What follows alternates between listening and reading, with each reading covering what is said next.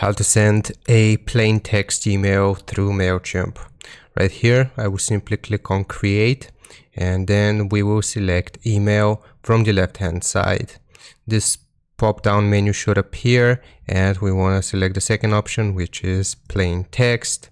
We can input the internal email name right here so I'm just going to do Ned like so and we will begin the process I'm going to take you through the process itself so we can send this to our entire audience, a segment or tag or group and new segment. I'm going to click on next here. I'm going to send this to my entire audience. So the campaign name, here's where we set the campaign name. So I'm going to do plain text example, the email subject. Uh, here we have to input the email subject. So let's just do plain text video. The preview text from this is who you're sending it from and basically here we can check some other options as well.